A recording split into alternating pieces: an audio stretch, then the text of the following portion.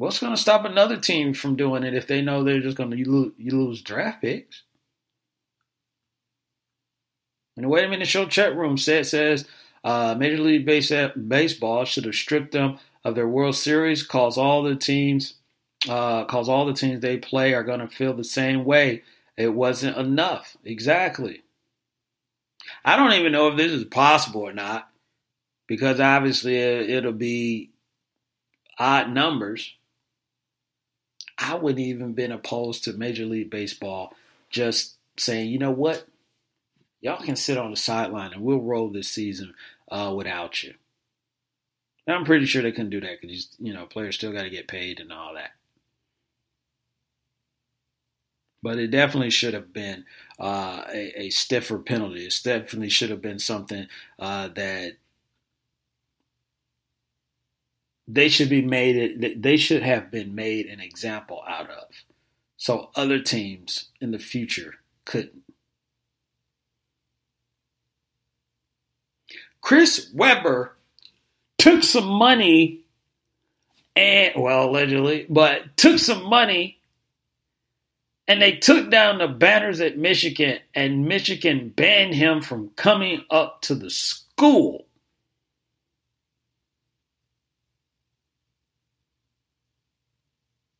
Let that, let that sink in. And these individuals for the Houston Astros lost a draft pick. It's money. Wasn't enough. But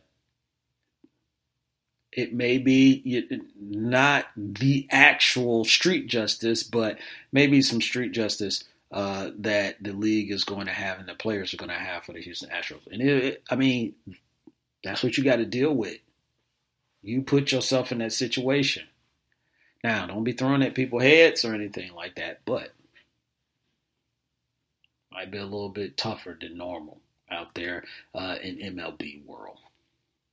So we're going to take one more break. When we come back from the break, I want to talk about, uh, we were talking about opt-outs uh, from players. Well, someone's opt-out has opted out, and they're not even a professional yet.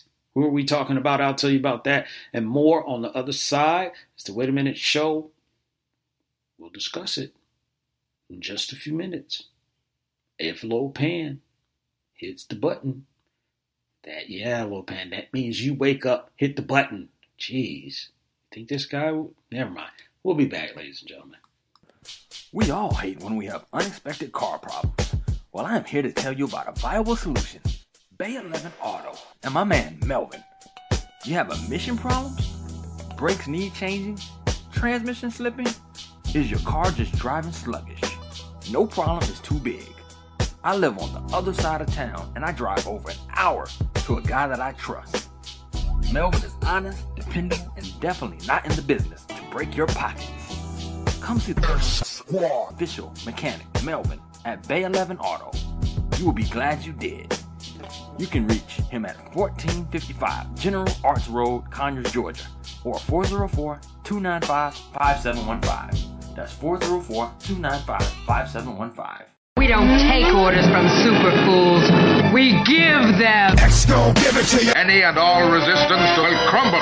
Nonsense. There's never been a threat. Squad. Couldn't handle. It is the purpose of the Squad. to align our infamous forces against the powers of good and defeat them, leaving us, the rulers of the world.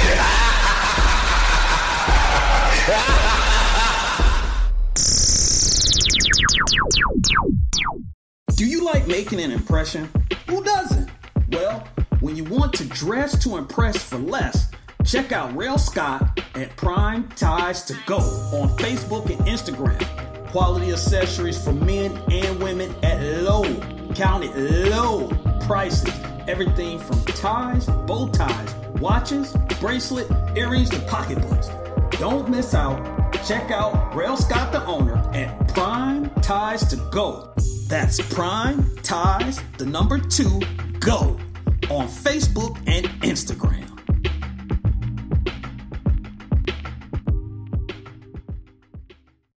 Squad, Squad Network, the future, the future of radio.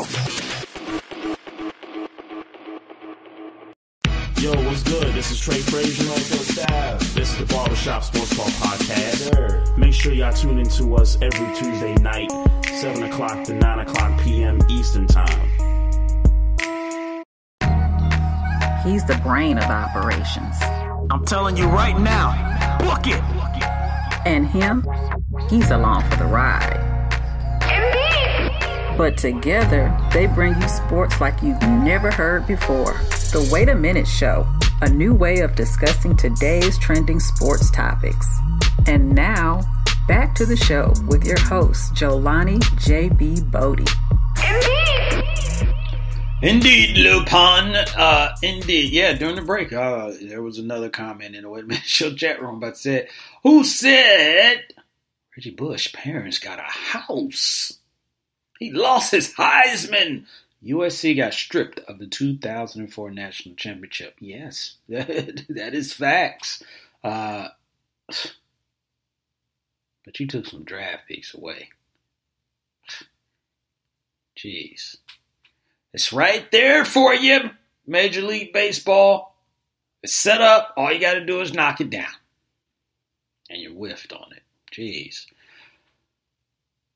So I was talking about before the break someone who is going to opt out, but they're not a professional. Virginia Tech, Virginia Tech cornerback uh, Caleb Farley uh, has decided that he is going to forego his season uh, in college and opt out, and actually will start just focusing on training for the NFL draft for next year for 2021. Get ready. Now, we talked before about how guys in, in, college were not playing the bowl games because they wanted to, you know, get prepared uh, for the next level in the NFL. And I was kind of stuck in the middle, but I kind of, you know, really didn't have a problem with, you know, someone who has an opportunity to alter their life, to alter the trajectory of where they could go in the world, in their career.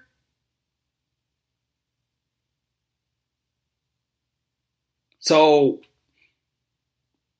it's no different. It's no different. He's making the decision that is the best decision for himself.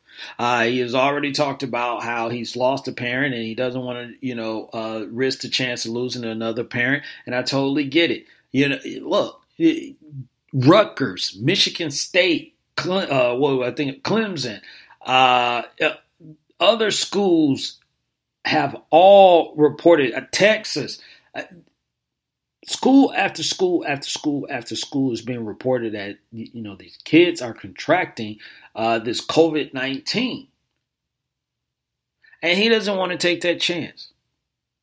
Now you ask, hey, okay, it, it, how's this going to pan out for him? Well, he was already a potential uh, first round pick, and he was already potentially a uh, you know the best corner that was going to be coming out. That's not going to change. He's not sitting out because of an injury.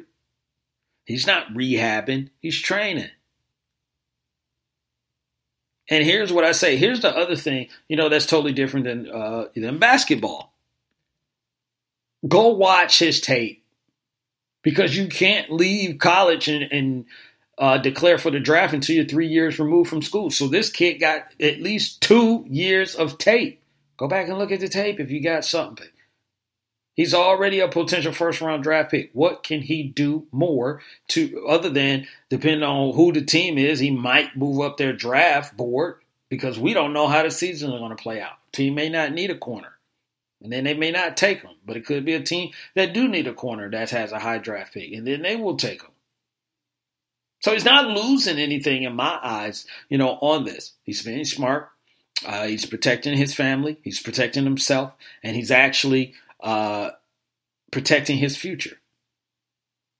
So I'm hoping no one really has, you know, problems with this. But I bring this up because this this will not be the only situation that we, you know, hear.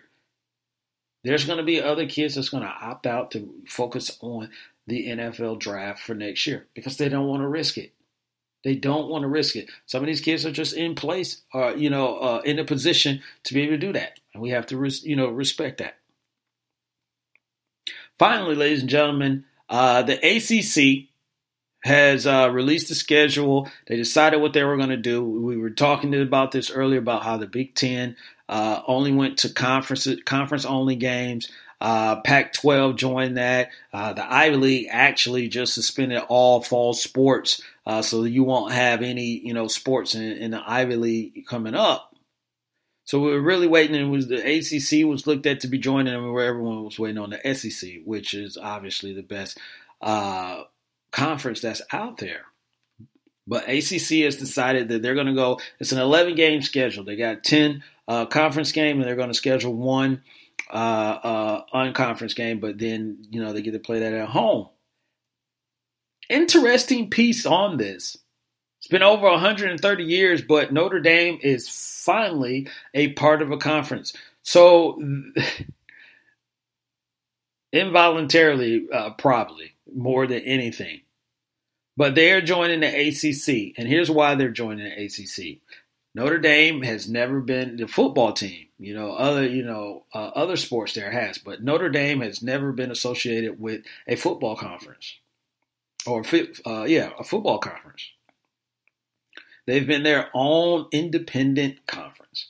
But because you had so many people going to conference only, well, guess who didn't have a conference to conference? And that was Notre Dame. So it's going to be interesting playing in the ACC. Uh, it's going to be interesting in um, you know some of the games that they're going to uh, be playing and who they're going to be playing against. So that if if we get some college football, that uh, will be some interesting matches matchups. Now the SEC also has been reported to uh, be looking at a 10 game conference only uh, season as well. So uh, I think they're just running over the logistics. Uh, they're probably running over, you know, how everything's going to work. I'm sure they've already decided uh, on that. It makes sense. Everybody is already doing it, and we really don't know uh, from day to day you know what what something is because something can happen uh, today, tomorrow, two days, three days from now, uh, and then it alters you know the game as well. So this is an ongoing process. I think the SEC uh, just you know they're going to jump on board, but the ACC they got their schedule. Notre Dame is on their schedule. That should help out their conference at least for the uh, one year. It's going to help out Notre Dame so that they can actually play football. And maybe, just maybe, uh, we'll all walk away happy uh, with this thing. Um, hopefully, healthy and happy. So there you have it, ladies and gentlemen. Yeah, I know. I I didn't get. I didn't do a big L award today. I can't. But you know what? I can give out one. It's not a great big L award. It's kind of it kind of hurt. Kind of hurt. But it's me. Big L award is going to be. I was told that I hamper. I, Jelani Bodie, Jelani JB Bodie, let's get that right. I hamper my daughter learning how to swim. I guess because she's comfortable around me and, and, I, don't know. She look at me with the little pretty face and I, I don't know. But they said JB, back up. Don't don't try and teach her anything else. Let the professionals do it. They're good. Go sit your butt down. So that's what I said. I'm gonna sit myself down. But also, what I'm to do, I'm to sign off. Uh, here's another episode of the Wait a Minute Show in the books. I am so glad we were able to broadcast again. We'll apologize for last week technical difficulties, but we didn't have any uh, this time, so we are good to go uh, for Saturdays 8 p.m. on the WaitAMinuteShow.com, and also we'll be back here Wednesday again on X Squad Radio uh, Network.